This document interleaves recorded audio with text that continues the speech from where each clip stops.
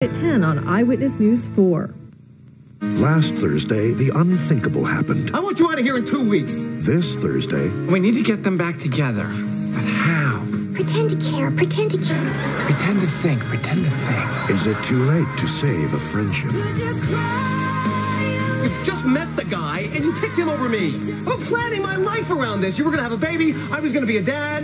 The moment of truth for Will and Grace. So that's it? We're just gonna go our separate ways? All new Will and Grace, NBC Thursday. Now stay tuned for an all new West Wing. It's coming up next, right here on NBC.